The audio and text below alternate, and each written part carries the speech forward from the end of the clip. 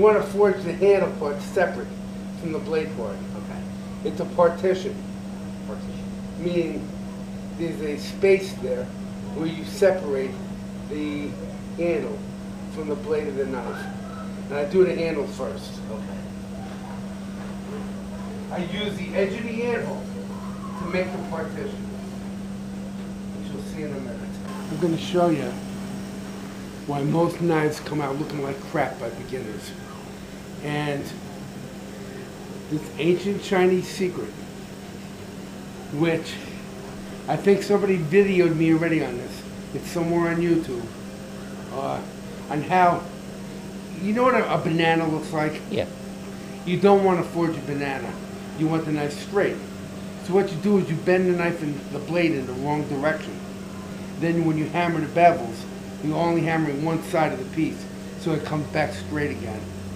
They call it counter curving. It's Counter curving. it's to be level in the fire, not down in the fire, because you'll burn it. And this field will definitely burn. My palm is about four inches. This is about four and a half. So I'm gonna forge this a little longer than this anvil is wide. You can use the anvil as a measuring tool.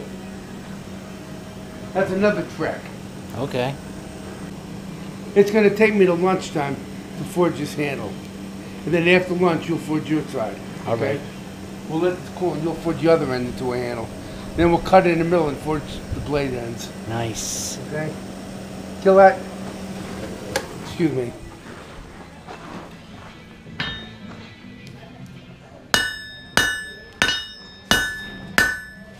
So I'm using the anvil to put an indentation in there to separate the handle part.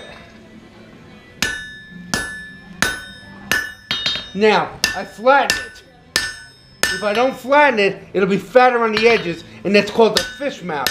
You don't want a fish mouth either. So you flatten it as much as you uh, hit it on edge like this.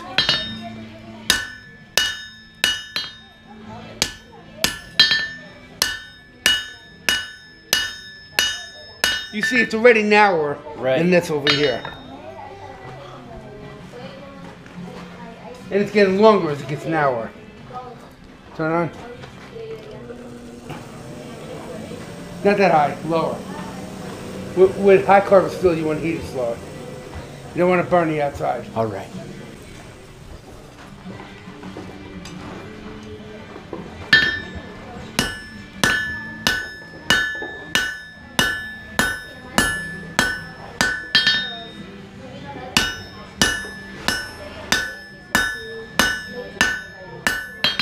Now, fisheye, so I gotta flatten it.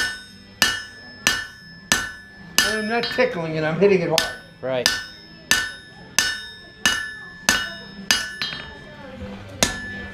Now this end is getting warm on me because the heat conducted. Yes. So I'm not gonna cool down the room water because it'll break. I'm gonna cool the end I'm holding in water.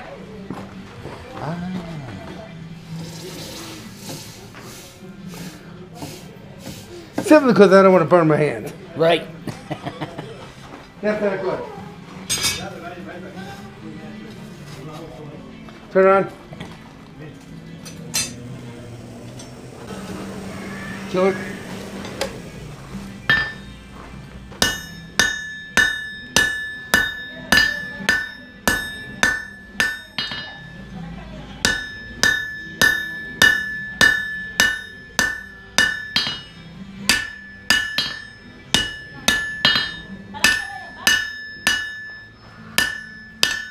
You can see it got a little longer, right? Oh yeah.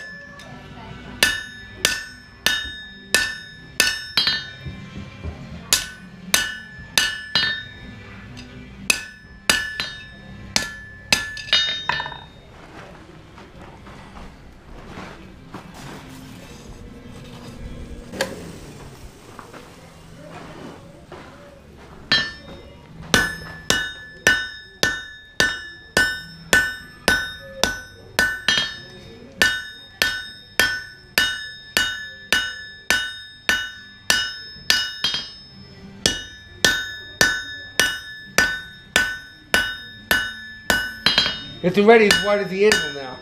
Yeah.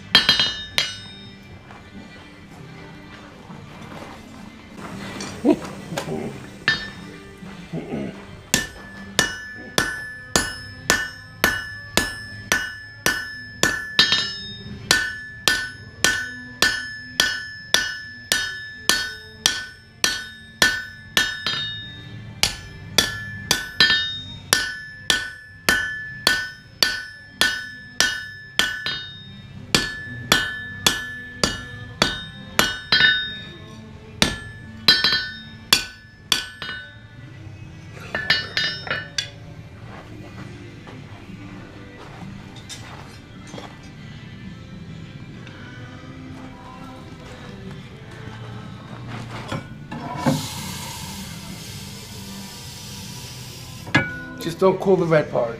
Mm-hmm. Catastrophic. It'll destroy your job. Turn around. If you keep your mouth shut and ask intelligent questions, you'll learn a lot more than if you just blurt stuff. Kill it. Thank you.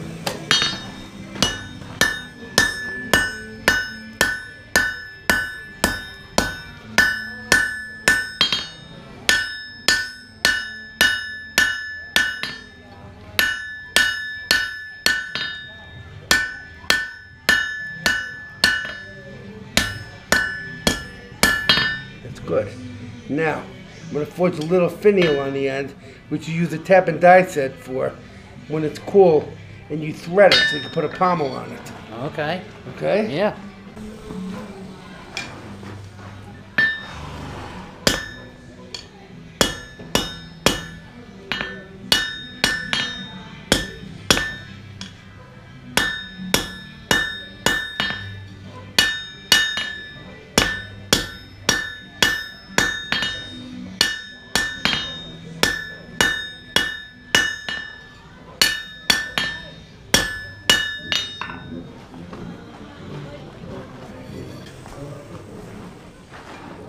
And it'd be better. It'll be a hundred times better than that Home Depot crap stuff that bends as soon as it catches a root. You know. Yeah.